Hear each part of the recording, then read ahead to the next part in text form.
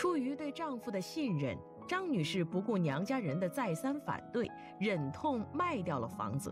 而张女士的娘家人则认为事情非常的蹊跷。然后我弟弟、我妹妹这时候就说了：“那个大姐，这个事儿没有这么巧合的事儿，今天不到，明天还不到，不可能。怎么这个这这么多的巧合都发生在你们家身上？”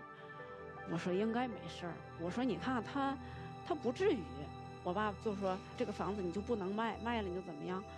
最终，爸爸和弟弟妹妹也都不管了，也管不了了。最终房子就卖了，最后是卖了一百二十六万。那这账到底平没平？你知道吗？没平。这个钱他又用了一百多万都用了。嗯，他就都用了。呃，后来他就说了，第二套房子，叔叔也得卖。阿姨，叔叔，你你，我看你们都憋不住了啊！您说。他呀，还惦着跟人家过，为嘛他妹妹他弟弟都不搭理他，都不跟他通话，拉黑了啊！他上了他妹妹去，压个了俩钟头都没得开门，人家就是，你看透了他了。你看他在上奇妙大学啊，他胡说八道。他爷们说一开始啊是在外面做买卖，跟一个姓张的，要不姓姚的。你猜怎么？他妹子一看受不了了，跟他上床上去了。嗯，一查这个姓姚的是个公司的名字。他说什么开饭馆开饭馆也没有这么个事儿。你是这个一切一切，他说的都是假的啊！人家人家船长啊，人家就说了：“我说大姐呀，你失职了。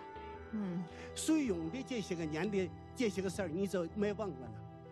他说过年在这值班，他说八月十五值班，过年八十五没值过班，没用过他，没有他的事儿，知道吗？嗯，人家最后就说了：“你家的男的呀。”长了毛啊，顶猴还精了。我不信他会做赔本的买卖。你看他说，嗯，他不说这个啊。他弟弟为嘛不搭理他嘛？这二三年的喊的，人家都活不了了，所以为嘛不搭理他？他坐在那儿了，他也不着急啊。哎呀，说的他男的还像个花似的。你说你叫我怎么活着？我我说你还叫我活着？别生气了，叔叔，来来，先别生气啊！我特别理解叔叔的心情。您看，您说的那么多的都是其实您先生跟您说的，不管是怎么跟您说的啊。是。但实际上，我觉得女士啊，就是叔叔说的很简单。嗯。你去有些证据很好查，自己家的信息为什么不去查？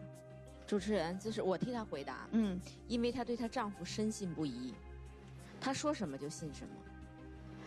比如说，我们对一个人相信要基于了解。对。我想问问这位女士，你对你丈夫了解吗？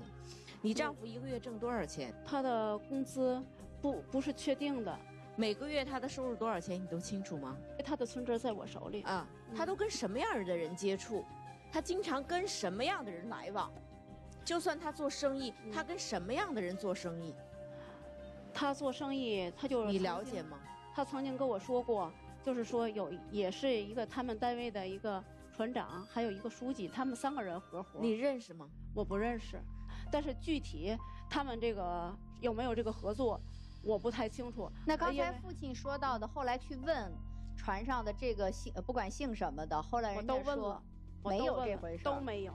嗯，所以说我为什么觉醒了？我觉得他骗了我，是因为我去验证了之后，我才知道所有的都是假的，所有的都是假的。